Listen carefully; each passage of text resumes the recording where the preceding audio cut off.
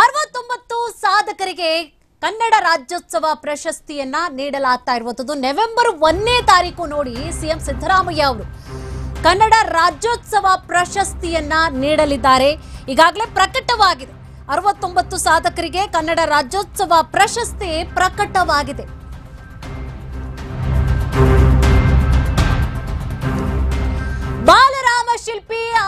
ಯೋಗಿರಾಜ್ಗೂ ಕೂಡ ಪ್ರಶಸ್ತಿ ಬಾರಿ ಲಭಿಸ್ತಾ ಇದೆ. ಜಾನಪದ ಕ್ಷೇತ್ರದಲ್ಲಿ ಹಿಮಾಂ ಸಾಬ್, ಕುಮಾರಯ್ಯ, ವೀರಭದ್ರಯ್ಯ ಅವ್ರಿಗೂ ಕೂಡ ಲಭಿಸಿದೆ. ಬಸವರಾಜ ಸಂಗಪ್ಪ, ಹಾರಿವಾಳ್, ಲಕ್ಷ್ಮೀ ದೇವಮ್ಮ, ಪಿಚ್ಚಳ್ಳಿ ಶ್ರೀನಿವಾಸ್ ಸಂಗೀತದಲ್ಲಿ ರಾಜ್ಗೋಪಾಲ್, ಸದಾಶಿವಪ್ಪ ಅವರಿಗೆ ಈ ಬಾರಿ ಪ್ರಶಸ್ತಿ ಲಭಿಸ್ತಾ ಇದೆ.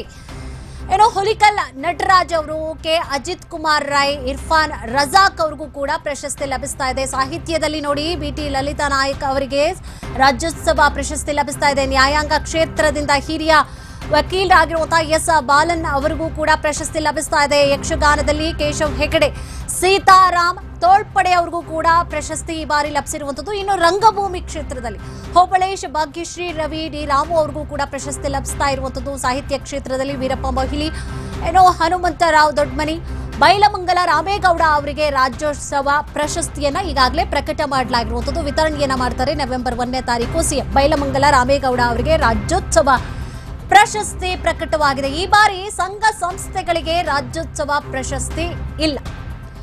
ಅರವತ್ತೊಂಬತ್ತು ಸಾಧಕರಿಗೆ ಕನ್ನಡ ರಾಜ್ಯೋತ್ಸವ ಪ್ರಶಸ್ತಿಯನ್ನ ಪ್ರಕಟ ಮಾಡಲಾಗಿದೆ. ನಟಿ ಹೇಮಾ ಚೌಧರಿ ನರಸಿಂಹ ಮೂರ್ತಿ ಅವರಿಗೆ ಪ್ರಶಸ್ತಿಯನ್ನ ಪ್ರಕಟ ಮಾಡಲಾಗಿದೆ. ಬಾಲರಾಮ ಶಿಲ್ಪಿ, ಅರುಣ್ ಯೋಗಿರಾಜ್ ಅವ್ರಿಗೂ ಕೂಡ ಪ್ರಶಸ್ತಿ ಲಭಿಸಿದೆ.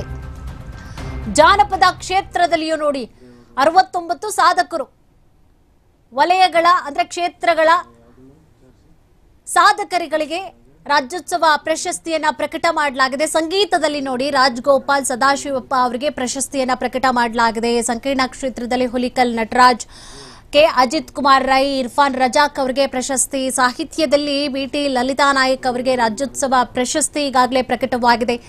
ನ್ಯಾಯಾಂಗ ಕ್ಷೇತ್ರದಿಂದ ಹಿರಿಯ ವಕೀಲರಾಗಿರುವಂತಹ ಎಸ್. ಬಾಲನ್ ಅವರಿಗೆ ಪ್ರಶಸ್ತಿಯನ್ನ ನೀಡಲಾಗ್ತಾ ಇದೆ. ಯಕ್ಷಗಾನದಲ್ಲಿ ಕೇಶವ್ ಹೆಗಡೆ, ಸೀತಾರಾಮ್ ತೋಳ್ಪಡೆ ಅವರಿಗೆ.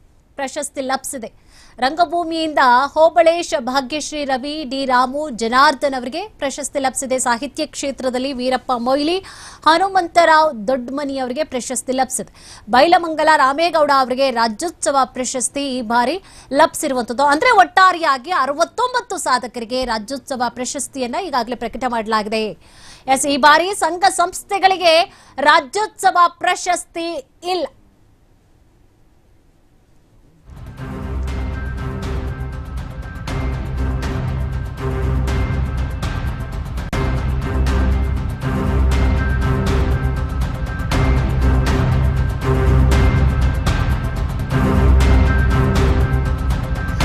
ಅರವತ್ತೊಂಬತ್ತು ಸಾಧಕರಿಗೆ ಕನ್ನಡ ರಾಜ್ಯೋತ್ಸವ ಪ್ರಶಸ್ತಿ ಲಭಿಸ್ತಾ ಇದೆ ಈ ಬಾರಿ.